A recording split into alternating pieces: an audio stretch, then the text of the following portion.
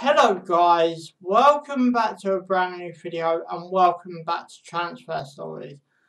I'm going instead of doing uh, just a video on who's the side for your club, it's all going to be involved with Transfer Stories from now on. And that way it gives you guys, you only have to watch one video instead of two on a day. And basically just makes it a bit easier for you guys. So, you know, if you do want to see a return of Who's Your Your Club, put it down in the comments below and it might return in the near future, who knows. But anyway guys, there's a lot to talk about, I've got a few players to cover, I mean more than six this time, so guys you know what to do, good to it, big fan if you enjoy it, subscribe for more, thanks for watching and let's go. So the first player I'm going to talk about is on my thumbnail, Dembele off to United. Now Yet again, over the past 48 to 24 hours, I've seen mixed reports on Jadon Sancho's. There's been reports that the deal is still on for Jadon. There's been reports that they've agreed a deal. All I need to agree on is a fee. I've read reports, you know, the deal's off completely. But then, Dembele could be a good replacement for Jadon. There might even be a Miss Jadon this window and then maybe next summer, maybe January, Jadon might come in to Manchester. But Dembele could be off to United. Now, me with Dembele is one of these players that really does, you know, have the game to play for United. If he is a replacement for Jadon, obviously I'll be really happy to see him in the Premier League. But we've also got to remember that Man United have just qualified for the top four as well. So, you know, for the first time in a long time, I think Sir Alex Ferguson retired, retired about, what, nearly seven years ago, somewhere around there. So United have just qualified for the top four for the first time, as I said, since, since Sir Alex Ferguson retired. So with the likes that happened, obviously, they got to get back a top four team. Dembele does come into the club. He is a left and a right winger, so play on either side. But Dembele, I think he's a perf perfect replacement for Jadon Sancho. Or could we see Dembele and Jadon Sancho in a Man United shirt next season? Boy, if that does happen, we are looking forward to one good season in the Premier League with the likes of Dembele and Jadon Sancho both in the Man United shirt, along with Martial and Marcus Rashford and all the other United players of course. Thomas Priere, I'm probably mispronounced that last name somewhere across the line. Sorry if I have. You know, obviously I'm on about the pictures pop up on the screen anyway. I think I might have covered this once already in transfer stories, but it don't have been re uh, talked about. Thomas has got interest from Arsenal. Now, Arsenal have been linked with so many wingers, centre midfielders, players like that. So Arsenal have been linked with so many players this uh, uh, this window. The likes of Thomas coming into the Premier League. Obviously, with the likes of Mesut Ozil, contract slowly running out for Arsenal. I bet Ozil and Arsenal Football Club are one of them players that Ozil do want to leave, but obviously his salary cap is too high. Thomas is a defence midfielder, mainly position, or he plays centre midfield or right back position. So with the likes of that in mind about Thomas, you know, I think he will play in the centre. Been, as I said, linked with Arsenal and he does look like he could be on the move. But with the likes of Thomas could come in and refill that gap for, you know, Arsenal. Thomas playing the Premier League. Yet again, it'd be a great player that I like see in the Premier League. This one, I really would like to see go through on the Arsenal point of view.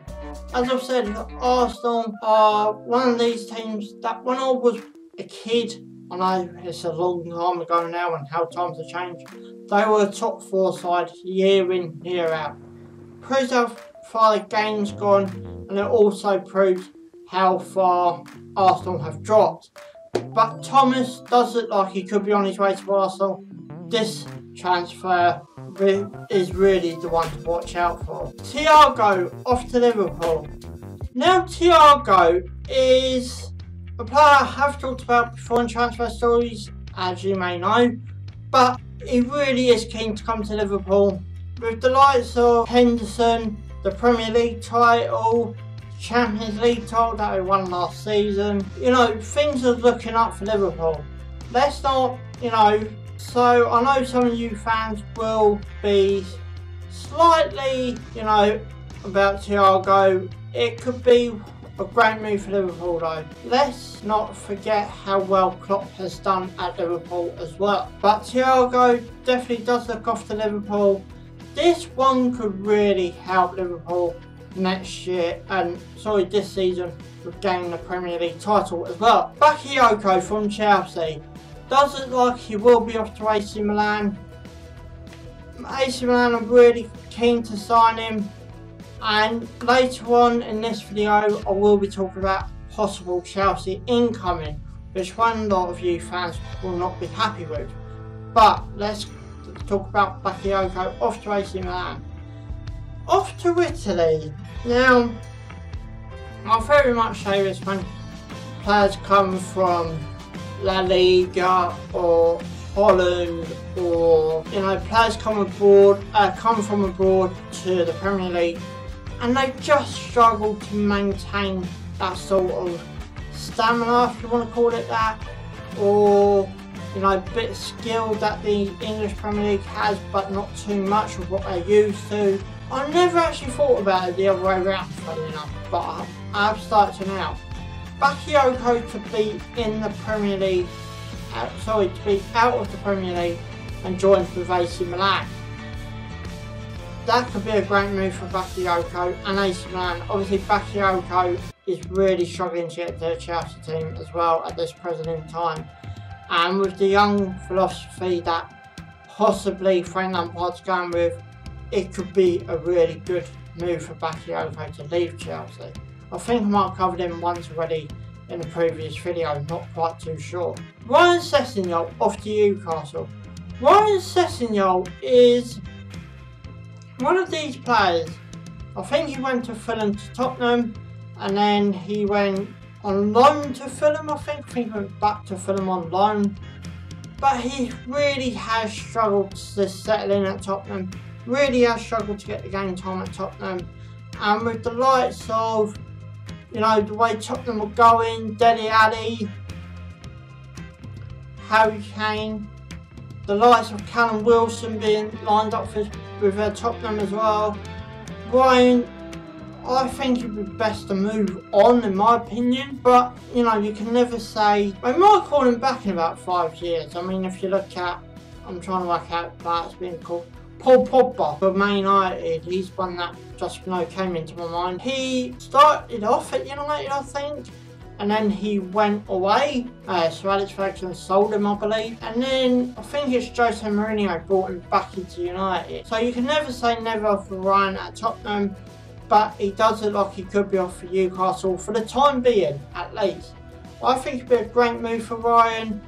I know they've got the likes of Matt Ritchie up at Newcastle and Shelvey, and you know they've got some really good players up at Newcastle. But I think the way that Newcastle philosophy works and the calibre of Newcastle, I think Ryan Sessegnon will fit that gap perfectly up at Newcastle. Now here's the replacement for Bakayoko. Declan Rice off to Chelsea. Now a formal bid has been made on, you know what I've been reading about, of a 50 million pound bid. Now I can understand a lot of you saying, especially West Ham fans, saying Declan Rice is not for sale. Declan Rice is, you know, here to stay. Declan Rice is, but you've got to think of, especially the likes of Declan, you know, further his career. What West Ham done in this window at this point in time, it, you know, frustrates me a lot because obviously the way last season ended up, I think West Ham stayed up by, by about, what, uh, five points and for a West Ham team in their London Stadium, it's not good enough, is it really? I mean, they brought the uh, London Stadium in to help them European football. and they seem to gone further down than up. But I don't agree that the London Stadium should be used for football anyway. I've been up there a few times myself as a visiting supporter when Brighton played up there quite a few times. And there's no atmosphere. No matter how hard the West Ham fans try, you cannot get the atmosphere in the stadium. But you know, uh, West Ham won the bid for that, and that sort of stuff. I think it's a 99 year lease when they signed it. I think it's got about 97, 96 years remaining. So West Ham have got a long ride there. Also, if you're a West Ham fan, please tell me how you feel about the London Stadium. Would you rather West Ham build a whole new stadium, or would you still prefer to be at Upton Park? Now, I've been to Upton Park once, as just yet again a visiting supporter, and I found a really nice ground as well. But Declan Rice, possible move off to Chelsea. Let me know what you think of all these transfers down in the comments below. Yet again another Chelsea one, Ben White. Ben White, Brighton player at this current minute as I'm recording this. But Ben White for me, you know, Leeds have been interested in him ever since, we're even before the transfer window opened, you know. But Ben White for me going off to I think you'd do well at Chelsea. I don't think, you know, caliber first team straight away. I do think probably bench appearances to see how he gets on. But we've also got to remember with Chelsea, some of the, you know, players are leaving, the likes of Pedro and players alike. So, Ben White possibly off to Chelsea possibly Leeds, possibly staying at Brighton. A three-way tie for one player's name. Let me know what you think down in the comments below as well about this one. But yeah, off, you know, off to Chelsea. So that's what, you know, two players, two young players off to Chelsea this window could possibly be as well. And just a slight update on a video I have done on this channel Willian uh, done at Arsenal. Now, I knew this one was gonna, you know, mostly happen because he kept refusing a new contract. But, so, uh, what I've been reading, yes, against what I've been reading and seeing, Willian done deal at Arsenal only a matter of time before we see him in an Arsenal shirt. So Arsenal fans, please feel free to put in the comments below how you feel about Willian as well. But anyway guys, as I said already in this video, put down in the comments below about all these transfers, possible transfers that could be happening in this window. Give us a big thumbs up if you enjoy it, subscribe for more. Thanks for watching, ciao.